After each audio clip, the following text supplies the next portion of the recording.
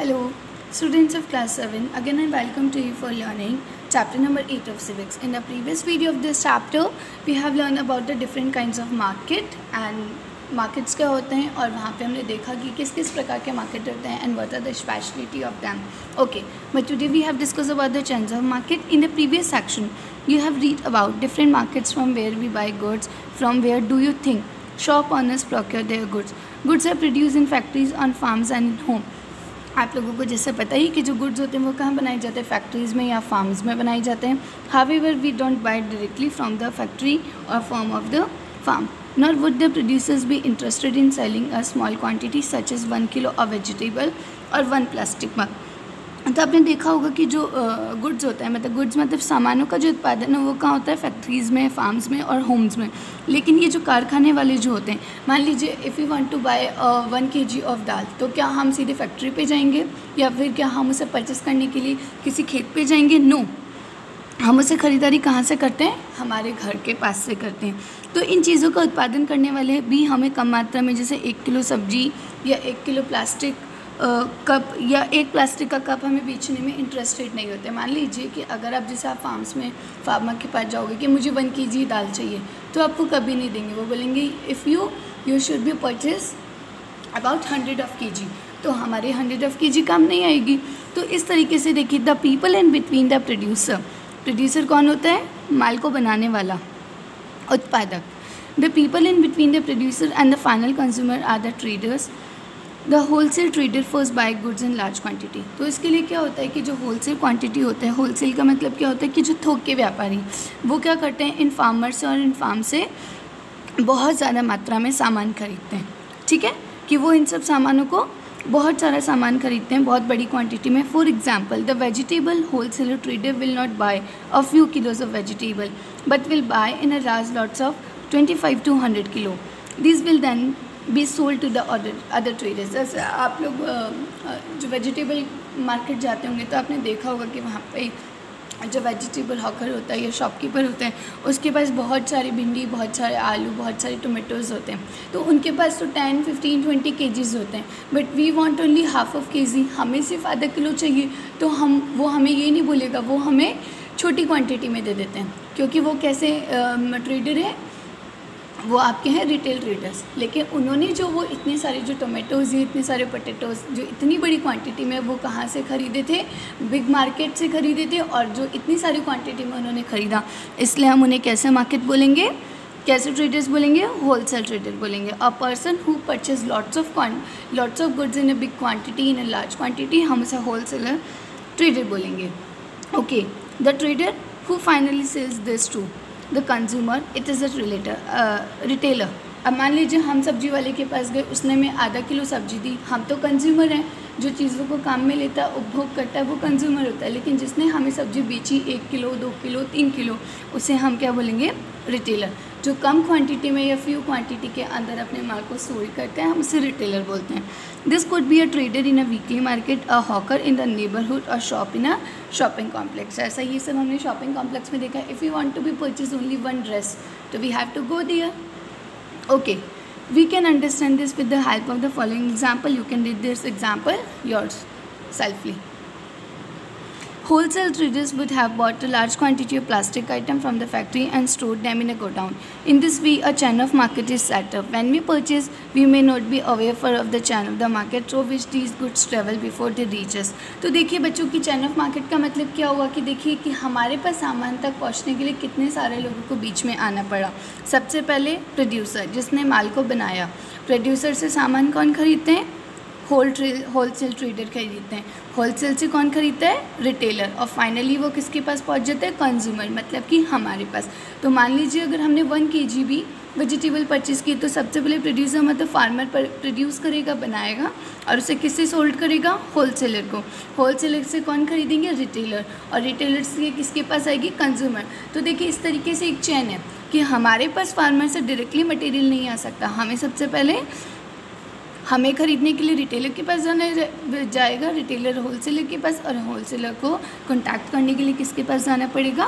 Producer के पास। तो ये एक हमारी इस तरीके की एक श्रृंखला होती है किसी भी आ, मतलब हमारे घर तक अगर कोई भी गुड्स पहुँचाए तो उसके लिए देखिए कितने सारे लोग बीच में इंटरमीडिएटर होते हैं।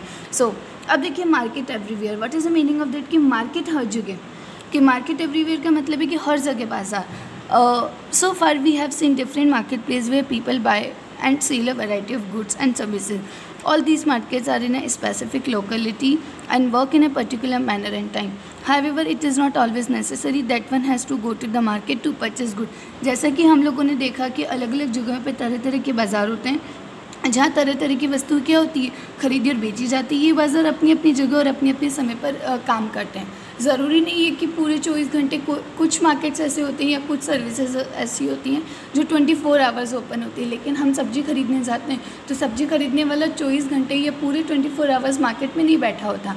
वो कुछ देर के लिए ही अपनी शॉप को ओपन करता है। So it is all depend on the choice of the trader okay you can place order for a variety of things through the phone and these days through the internet but अब ऐसा नहीं है कि हमें सीधे market में shopping करनी जाती है। आजकल मार्केट जो है हमारे घर पे भी है। जिससे हम क्या बोलते हैं ऑनलाइन परचेस आपने देखा होगा कि if you want to buy you have to go on many different websites like Myntra है फ्लिपकार्ट है। अगर आपको अपने घर पे टीवी खरीदना है तो आप अमेजोन से ख़रीद सकते हैं, आप फ्लिपकार्ट से खरीद सकते हैं। ये जो फ्लिपकार्ट है मिंत्रा है, ये सब आपकी क्या है ऑनलाइन वेबसाइट्स हैं। ऑनलाइन शॉपिंग वेबसाइट्स हैं। तो एक तरीके से आप सिटी मार्केट भी नहीं गए और मार्केट खुद चलकर आपके फ़ोन में या आपके लैपटॉप में आ गया। सो so, आपने देखा होगा कि आजकल हम ऑनलाइन फ़ूड भी कर सकते हैं। ऑर्डर और कुछ ही देर में स्विगी जोमेटो वाले हमारे घर पे आके में burger pizza wishing we have to order वो हमें हमारे घर पे डिलीवर कर देते हैं। You may have notice sales representative waiting for doctor such person are also engage in the selling of goods this buying and selling take place in the different ways not necessary through shop in the market ज़रूरी नहीं है कि market के लिए shop होना ज़रूरी है। जैसे हम ऑनलाइन मार्केटिंग देखते हैं आजकल तो उसके लिए हमें किसी शॉप पर नहीं जाना पड़ता।